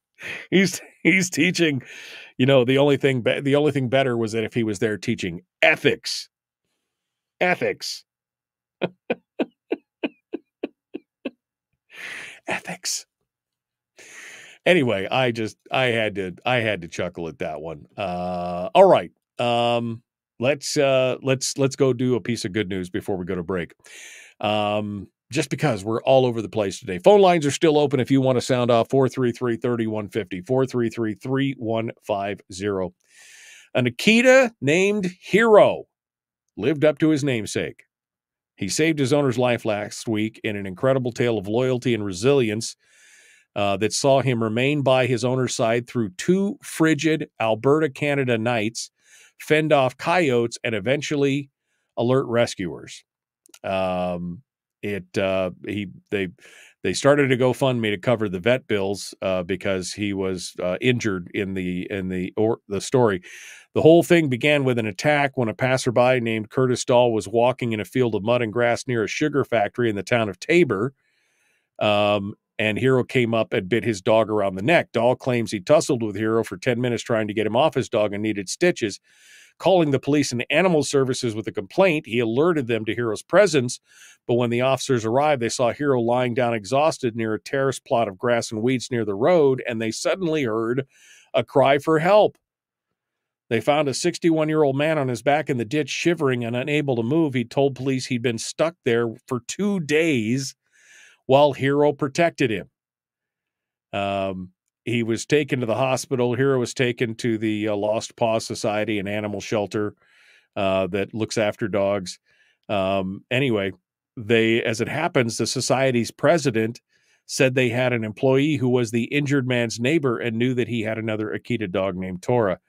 So eventually, uh, anyway, the, long story short, the the man whose dog was attacked by Hero was understanding and grateful uh, that Hero's owner was rescued. He received compensation for the cost of his dog and himself for uh, that three thousand dollars that was raised from the GoFundMe, and uh, so it was a. But he's a hero. The dog not only is he named Hero, he is himself. In fact, uh, this is why we love dogs, man. This is why we love dogs. Uh, uh, no word as to why the guy eventually fell into the ditch or had problems, but there you go. It was. Uh, it's the good news for today. You got to have good news every every now and then. You got to have good. you, yes, it is. Oh, and Bill says he thought the good news was that Liz Snyder had moved back to Florida. But that's also good news. I mean, there's you know, there's gradients of good news, Bill. There's gradients of of good news.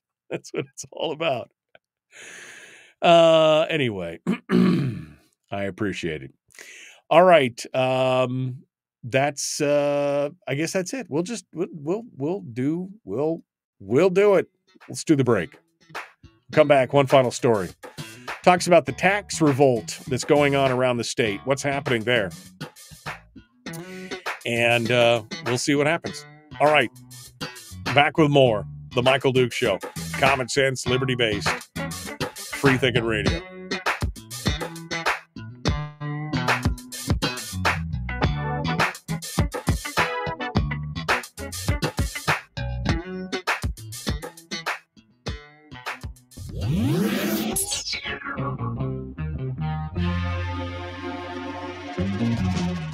Running on 100% pure beard power. Oh, also some coffee.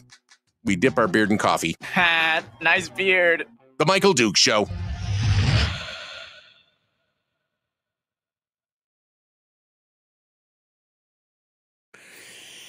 Okay. Okay. Okay. Okay. Um, they come up here and they destroy our beautiful state, says uh, Alaska Independence on YouTube. Uh, he's talking about the the carpetbaggers that come up, like Liz Snyder, who come up here to bring their progressive ideals to Alaska, and then they leave, you know, sometime thereafter. Joel says, "I love it when they leave. I love it when they leave. That is the good news." Um. All right. Uh, Where's the criminal legislator who had dead people vote? That was the Gabrielle Ledoux. We were just talking about that earlier today.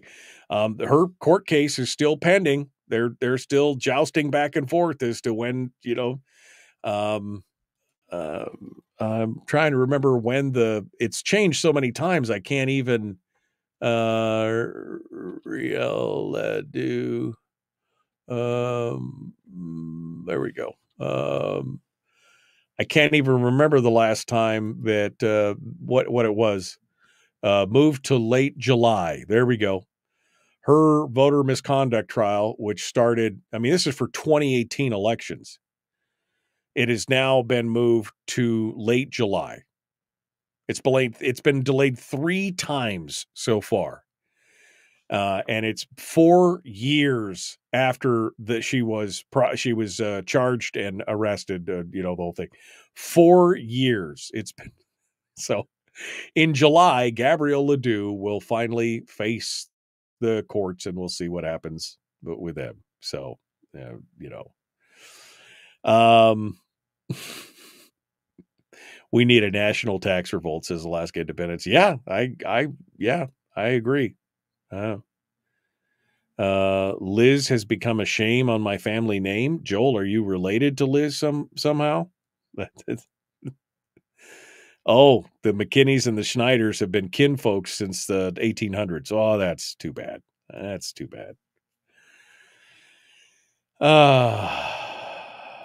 uh, oh, Cindy, I'm sorry to hear that. Uh, we'll keep her in our thoughts. Uh, she's her daughter's having ankle surgery tomorrow. We'll keep thinking about it. Um, poor jurors stuck on that crap during prime Alaska summer. I mean, yeah, can you imagine? Um, Alaska's political system is so broken, it's not even funny. I mean, but you got to laugh at the same time. Um, oh, you guys, uh, mm, you you guys are crazy. All right. Um, political courage is a lost art. Yeah, yeah. Okay. I think I am all caught up on everything that was going on. Uh, Sourdough Steel said, uh, My uncle lived handsomely in Valdez Simple, shoveling off boats in the winter. He found a hole in the community needed and filled it. Made a ton of, mo- ten, ton of money simply shoveling. Yeah. Find a need, fill a need. I mean, that's the basic of what we've been talking about. But I mean, if the kid can't run a broom, can they run a shovel? Can they problem solve it? Can they figure it out? That's just, it's crazy. It's crazy, crazy stuff. Um, okay. Mm, the whole tax cap thing that is in Fairbanks is a lot of people angry. 33 million for a puppy palace. Meanwhile, schools are at an all-time low. Glad I'm homeschooling. Sad I still have to pay for it. It's true. I mean, they just closed Eielson, and there's all this weeping and wailing and gnashing of teeth about closing Eielson. Yet they're going to spend 33 million dollars on a new on a new dog shelter. 33 million. I mean, I know we're talking about separate budgets here, the school budget and the borough, but I mean, really? That you know, that's the that's the that's the thing. That's the thing. Uh, see if you don't count the Dukes won't call you out for name calling. You know, the thing is, is if you're not a troll, then I, you know, I see people just get upset with you because you're trolling them. You're you're like you're not even devil advocating. You're just being contrary to be contrarian. That's where you're at. It's uh, you know, there you go. You get plenty of call outs on the show. You get you get your attention that you need. It's there. Just there you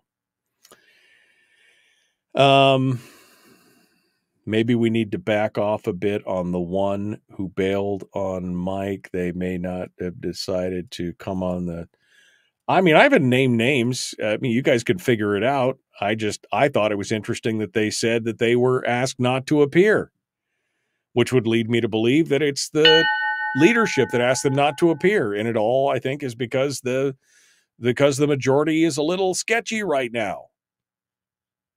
You know, I don't necessarily blame them personally, but you know, um, uh, yeah, I just you know politics, man. It, it, this world would be great if it weren't for all the people in it, right? People suck. the politics sucks. I just oh.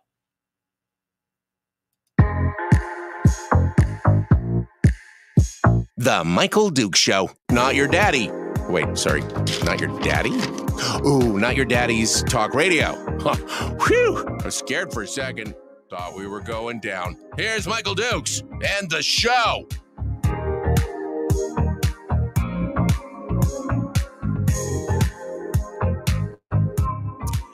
Okay, uh, one final segment. I saved the best for last. And I save this one specifically because it angers me. I didn't want to spend I didn't want to spend the rest of the show agitated, and uh, because oh man, yesterday I was so wrapped up about the non-reaction from the Fairbanks School Board over the comments of Brandy Hardy, which I, you know what, I said I would play it today. Uh, this is what Brandy Hardy had to say uh, about your legislators up in the interior and received zero consequences, even though there is still the threat of potential legal action in the air. And the school board issued a non apology um, after the interior delegation asked for an apology. Uh, this is Brandy Hardy and what she had to say. To the other representatives, Representative Tomaszewski, Senator Myers, Representative Cronk, and I slightly give Representative Prax a pass because he didn't vote for it to begin with. So at least you stood by your vote. I am so utterly disappointed. Fairbanks deserved better. You are part of our community, and we were clear what we needed, and you let us all down. And I've heard rumors, and mind you, they're rumors, so newspapers in the audience. I'm fully aware. Don't quote me on it. That you might have sold us down the river for a seventy thousand dollar campaign donation. I hope it was worth it. So uh, I'm just going to play that every day until the school board does something. And uh, you know, and uh, you know, like I said, if I was running against Brandy Hardy for any office, from dog catcher to state legislator, I'd be sound. I'd be clipping that out and playing that every day on my ads. Is this the kind of person you want going down to Juneau and or going to your dog catcher or going to being a school board member? I would every any job she asked for, that would be every commercial would have that part of that soundbite in it because um, it's unconscionable. It's just unconscionable. Okay, I'm not going to talk about that today because I'm already going to get agitated by the next thing, and I don't have a lot of time. So, Win Gruening, uh, who's a senior contributor over at Must Read, wrote this piece, which I thought was really good. Uh, we've talked about this a couple different times uh, from around the state. Several locations around the state have been having a problem with their assessors, borough assessors. I know in Fairbanks, there's been a whole thing going on right now that legislators are actually involved with, where the local assessor who changed has now decided to tax nonprofits. Um, if you have a nonprofit that you know 99% of the time deals with everything related to the nonprofit, and then you do one thing that allows you know somebody to use your facility or something like that that doesn't apply they're now putting them on the hook for all of their property taxes and it's it's a it's a hot hot mess. And that's happening up in the fairbanks north star borough. It's also happening um, in part as chris story was talking about down in the kenai peninsula borough but Gruening is writing about a couple different bills right now SB 242 and HB 347. They're each entitled An Act Relating to Assessment of Property, Boards of Equalization, and Certification of Assessors. It was introduced in the Senate by Senator Jesse Kiehl and later in the House by Rep. Julie Coulombe. And they've gained bipartisan co sponsors and several hearings, and the public testimony has been universally in favor of the passage, according to Gruening. Uh, basically, this legislation came about largely through the publication of a white paper on property tax assessment that was written by Haines resident Brenda Josephson. It was called Restoring Public Trust. Uh, it was also co written by Greg Adler, who is a property owner in Juneau and represents Goldstein Improvement Company. The dust up over the property taxes came to the forefront when a group of nearly 600 residents in Haines signed a petition requesting that their borough assembly fire their property tax assessor, Michael Dahl. He was hired by Haines in December of 2022 after previously being let go from the city and borough of Juneau. The basis for the petitioner's complaint was excessive and unequal citywide tax assessments that failed to comply with the state statutes in calculating full and true value. Some of the property owners experienced assessed value increases of 50 to 100% or higher. They contended that Mr. Dahl was not a licensed appraiser, or a certified assessor. He instituted his own hybrid assessment system that relied heavily on cost replacement values without adjustments for market conditions or functional obsolescence. When the taxpayers questioned his methodology and attempted to appeal, they were often stonewalled or, in some cases, threatened with even higher retaliatory increases in their assessments. Oh, a bureaucrat abusing their power. If you question me, I will double the cost of your house. Um, under the current law, assessors are not required to explain their findings in reaching the true and full value. They're not obligated to physically survey a subject property or attempt to reach a settlement with its owner before a formal appeal. Even if the property owner provides an arm length sales agreement or fee appraisal, the assessor can disregard it and exclude it as evidence. Oh, these guys are like, this is like the Stasi is running your property department. I mean, this is awesome, right? So the draft legislation attempts, it does a couple things. It requires that assessors be certified by the Alaska Association of Assessing Offers, uh, uh, Officers. Okay, great. Prevents property assessments from being raised out of cycle during an appeal. Composition of the Board of Equalization would default to an appointed board rather than elected officials. Requires the munis uh, to adopt formal assessment standards and fee appraisals provided by appellants not accepted at full and true value would require the Board of Equalization to justify their findings as to why they turned down these appraisals that people paid for.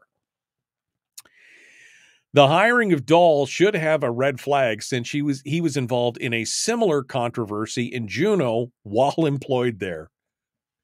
I mean, did nobody do a background check on this and be like, oh, it's okay? During Dahl's tenure, Juneau property owners experienced similar increases in property assessed value that resulted in hundreds, hundreds of appeals to be heard by the board by the uh, uh, the Juneau Board of Equalization. Um,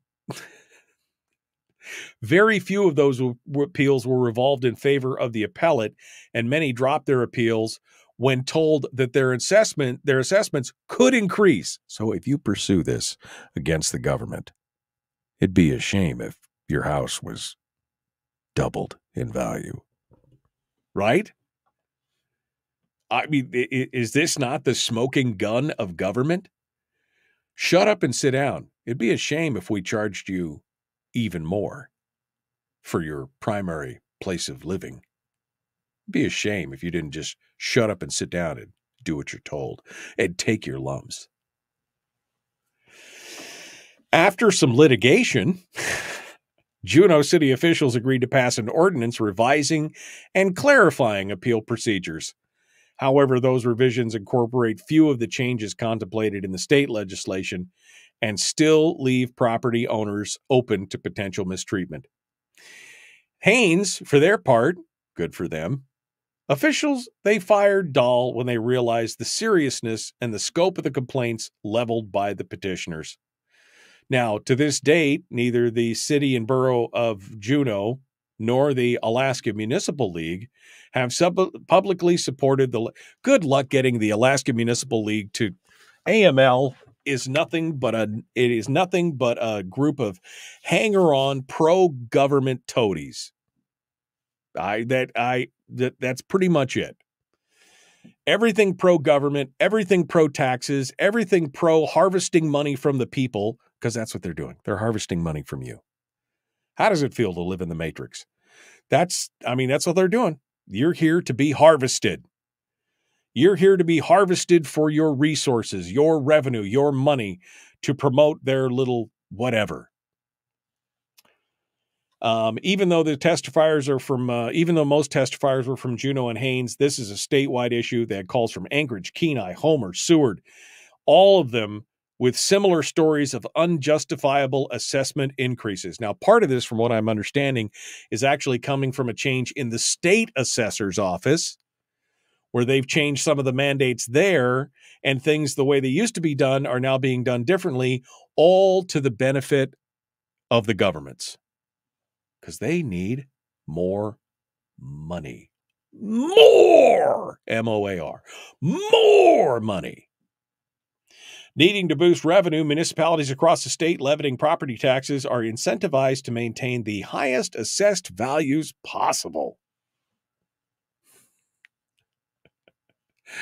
This is a, folks, you are a resource for the government. You are a resource for them to harvest repeatedly. You are a renewable resource.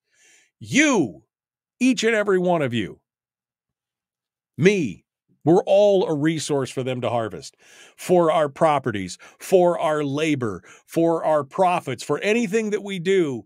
We are a resource to be harvest, harvested and then spent on whatever programs they want. And they want to keep us that way. Right, Andy? You and him and me and everybody listening here, when we add up all our taxes over the course of a year, we work for the government more than we work for ourselves. It's not just income tax, it's sales tax, it's property tax, it's all this other. What does that make us? That makes us tax slaves in our own country that's supposed to be the freest country in the world. That that has to change. I believe that the reason they make it that way is to financially oppress people for control reasons. You know, if people don't have financial resources and they're worried about making their ends meet, it's very difficult for them to concentrate on what's happening in Washington D.C. or what's happening in their local politics. So if you create enough division, enough hardship, enough confusion, enough anxiety, enough stress it's really hard for the average person to get activated to pay attention to what's happening in the country, which gives them free reign to do whatever they want. Gives them free reign to do whatever they want because we're tax slaves at every level. I will remind you that the founders of this great nation, that the framers, that those patriots, sons of liberty, I will remind you that they threw a little revolution over a 3% tax on mail. A 3% tax on mail. They went and threw a bunch of tea in the harbor and kicked things off over that. Now you're working until August to pay for all the taxes and government at every level that you have. So you're essentially working seven or eight months a year for government, and you're living on the last four months of the year. Congratulations. Congratulations. You, my friends, are being reaped. You're being harvested by this government, by all governments at this point, every level. And we've been so indoctrinated to believe that this is the right way because this is the way it's always been done.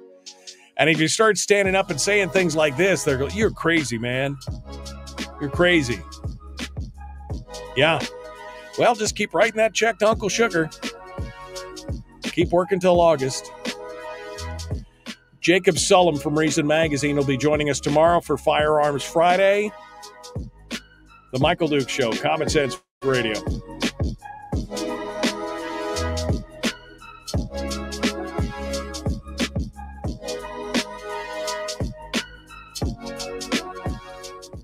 Tim just said, we just worked for the government until April 15th. That's the federal government for income taxes, Tim. If you look at the real numbers and you look at your income taxes, your property taxes, any sales taxes you may pay, plus the behind the scenes taxes on all the things you consume and the taxes you're paying that you don't see. You know, taxes on the loaf of bread, you know, which include the wheat and the labor and everything. We are working until like late July or early August to pay for all of those taxes. Yes, it used to be just till April 15th. But that's just the federal portion of the tax. And I'm not even sure that number's accurate anymore because it had been moving for years. But if you're working, even if you're working, even if you're working only for the first quarter of the year for the government, is that right? Does that make it okay? I mean, is that not insane? If you're having to work half a year to pay for all this government that everybody, what if you had all that money to begin? What if you had that money? What could you do with that money? What problems could you solve in your life that you wouldn't need to go to the government and ask them for help on? Right? Suck it up. We are being harvested. every single day.